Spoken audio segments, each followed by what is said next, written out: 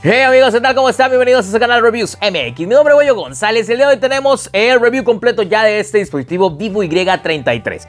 Y llega este modelo como parte del catálogo de Vivo 2021 en México. Este es de manera oficial y bueno, tuve la suerte de poderlo probar gracias a que Vivo me lo prestó para tenerlo unos días por acá. Ya se va, le decimos adiós, sin embargo te puedo contar cuál fue mi experiencia concretamente en el uso de este dispositivo. Bien, comenzamos por lo que siempre hacemos que es la ficha técnica de este gran producto. 했던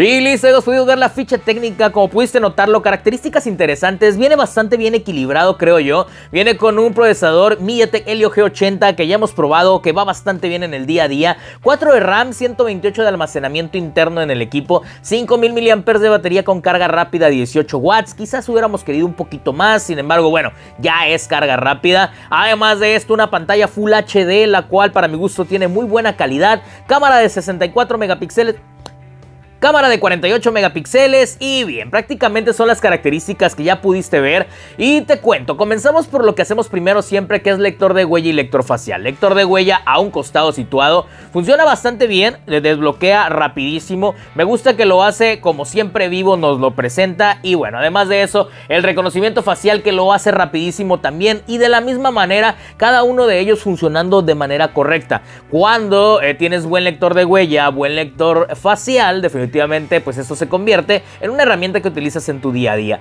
Al estar colocado aquí a un costado el lector de huella, realmente el facial pues pasa a un segundo término, pues normalmente para despertarlo pues te acostumbras a presionar un botón y si el botón que presionas es el lector de huella, pues prácticamente es instantáneo y no hay mucho más que hacer.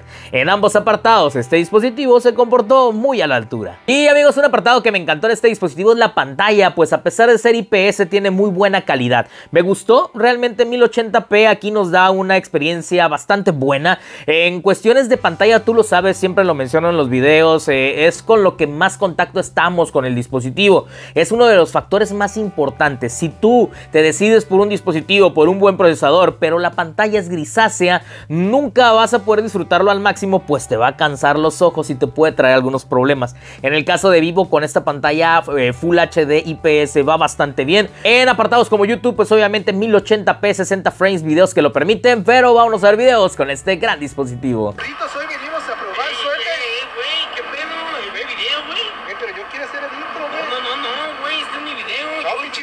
sean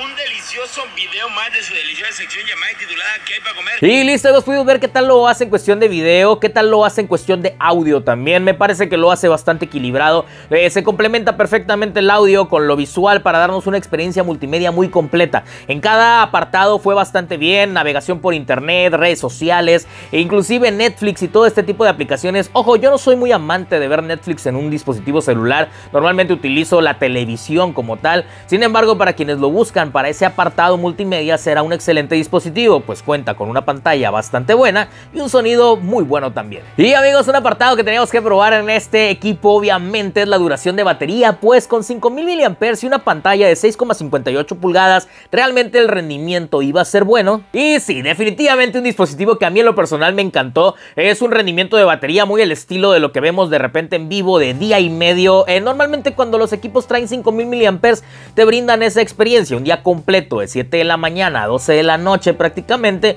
llegando con 35-40% de batería. En días muy demandantes quizás drene un poco más, sin embargo nunca tuve peligro de quedarme sin batería. Además, eh, pues en caso de que te llegaras a quedar sin este y tuvieras que ponerlo a cargar, gracias a su cargador de 18 watts, bueno, logra una batería completa de 0 a 100 en tan solo una hora con 58 minutos, prácticamente dos horas de carga por un rendimiento de día y medio me parece bastante bueno. Obviamente estamos viendo ya actualmente cargas muy rápidas, sin embargo en 18 me parece que se queda correcto para darnos una experiencia de batería bastante buena. Amigos, en el apartado de videojuegos, ¿qué tal nos fue? Pues aquí bien, aunque obviamente el G80 que es de MediaTek no es un procesador que vaya enfocado a ese segmento. Sin embargo, podrás permitirte así lo clásico, ¿no? Free Fire, Call of Duty a buen nivel, sin mayor detalle. La pantalla y el sonido ayudan bastante en la experiencia de videojuegos.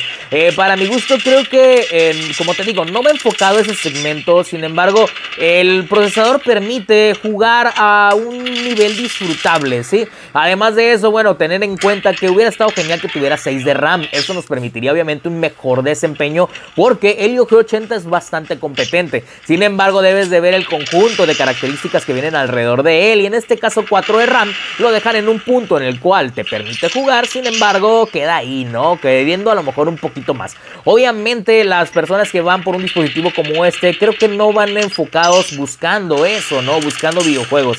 Aquí, como te digo, pues sí, se podrá disfrutar de ellos, sin embargo, no va enfocado a ese segmento. Y amigos, en el apartado de cámara fotográfica, bueno, aquí yo creo que sí va más enfocado a ese segmento. Eh, para mi gusto, creo que es una de las mejores cámaras de gama media en el segmento o rango de precio, ojo, de manera oficial en México. Porque obviamente hay importadores que traen dispositivos en el mismo rango de precio que ya sobrepasan características. Sin embargo, cuando pones en una línea todo lo que llega de manera oficial por 6 mil pesos mexicanos, este pequeñuelo trae una de las mejores cámaras fotográficas. Hemos sido testigos sin duda alguna de cámaras increíbles por parte de Divo y bueno, está por llegar 70 Pro Plus que lo vamos a ver aquí en el canal, está increíble. Pero bueno, en el caso de este equipo, a pesar de ser enfocado, como te digo, una gama media, sorprende bastante la manera en la cual lo hace. Es un equipo que tiene una calidad fotográfica bastante buena, tanto con cámara trasera como con cámara frontal. En cuestiones de lo que es video, bueno, ahí sí no te platico mucho más, vámonos a ver videos con este Vivo Y33. Y hoy seguimos probando la cámara del Vivo Y33, en este caso es a 1080p sin especificar frames por segundo. No nos permite grabación de 4K, sin embargo, como puedes ver, lo hace bien en esta resolución de 1080p, a pesar de no podernos permitir grabar a 60 frames. Lo importante es que tenga estabilidad y como puedes ver es un video bastante estable y muy bien logrado. Vamos a acercarnos aquí al carrito para ver los detalles. Mira, ahí se ve la mugrecita al 100% y como puedes notar, bueno, pues un nivel de video bastante nítido, bastante bien. Ahorita está bien soleado y eso hace que de repente no se vea al 100%. Sin embargo, bueno, mira, aquí puedes ver la estabilidad, que es una de las cosas más importantes a la hora de grabar un video. Sin duda alguna, Vivo Y33 no decepciona en el apartado de video. Y amigos, seguimos grabando con la cámara frontal de Vivo Y33. En este caso la máxima resolución es también 1080p. No tenemos frames por segundo, es así a secas, al igual que la cámara trasera. Sin embargo, recordarás que vimos cómo graba el equipo con cámara trasera. Me parece súper estable, lo hace de una manera increíble y para mi gusto, pues un dispositivo que para hacer gama media, eh, tanto lo que es grabación de video frontal como video trasero, lo hace a un excelente nivel. Bien, vamos de regreso al estudio. Y listo, os puedo ver qué tal lo hace en video, fotografía. Como te digo, definitivamente creo que un apartado al cual va enfocado vivo siempre esa calidad fotográfica y a pesar de ser, como te digo, una gama media, nos brinda una excelente experiencia. Bien, pasamos al último apartado, que es el apartado de conectividad, donde este pequeñuelo se queda obviamente al 100%, ya que nos brinda muy buena conectividad, tiene muy buena recepción gracias a su pues, tapa trasera plástica, con excelente acabado, eso sí. Sin embargo, bueno, una buena recepción en interiores, exteriores, todo correcto. Rangos de Wi-Fi, no se pierde la señal, nada extraño. Además de esto, bueno, contamos con todas las bandas para funcionar en México, Latinoamérica, gran parte del mundo. B1, B2, B3, B4, B5, B7, B20, B28, las más importantes. Además de ellas, algunas otras más que podrás encontrar en el link que te dejo en la parte de abajo que te llega a la página de Vivo. Bien, eh, definitivamente en el apartado de conectividad, este dispositivo bastante bien. Obviamente el hecho de que tenga B28 nos permite utilizar Altan redes y dentro de todo el montón de catálogo de telefonías de este estilo, para mi gusto la mejor es Basanta. Basanta te brinda un plan bastante económico, o bueno, bastante adecuado, que es por 350 pesos. Prácticamente ellos te dan 100 gigabytes para utilizar en el mes. Yo es el plan que utilizo en el equipo con el que grabo el canal.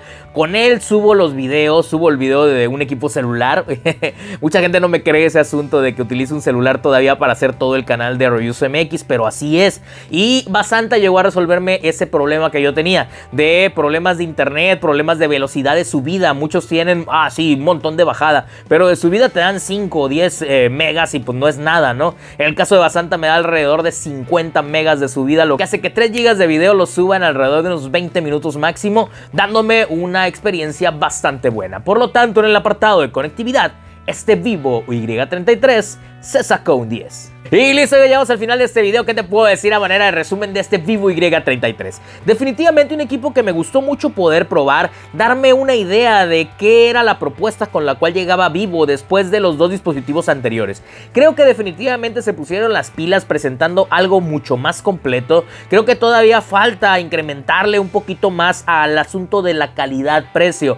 Sé que en México es bien difícil porque la gran mayoría de dispositivos que llegan de manera oficial llegan muy caros. Nos lo presentan como gama media premium algunos, eh, con precios de gama alta que andan rondando 18 mil pesos mexicanos. Equipos como este que cuesta 6 mil, para mi gusto está muy completo. Para mi gusto creo que eh, te brinda una buena experiencia de batería, de pantalla, de sonido, de cámara fotográfica. Concretamente Vivo Y33 me parece súper, súper equilibrado. En cuestiones de precio, obviamente me encantaría que estuviera más barato, que nos diera más esa sensación relación calidad-precio.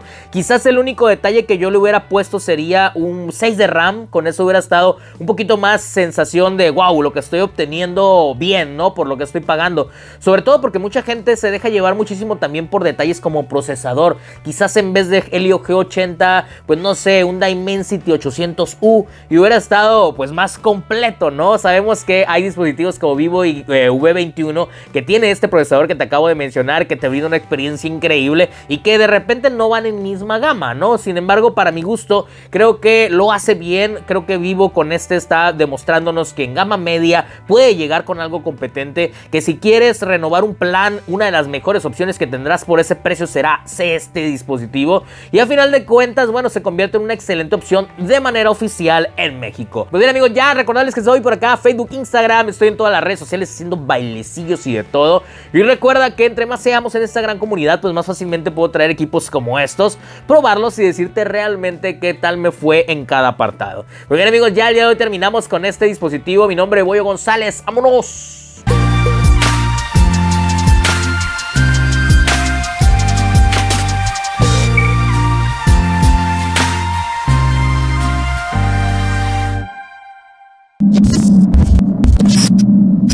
Oh amigos, y la funda, sí, sí traía funda, ya te lo había mencionado, la funda la verdad que le calza perfectamente y eso hace que venga bien protegido, realmente marcas como Vivo eh, siempre presentan algo súper funcional, nada de la típica funda aguada que no sirve para nada, no, aquí bien presentado.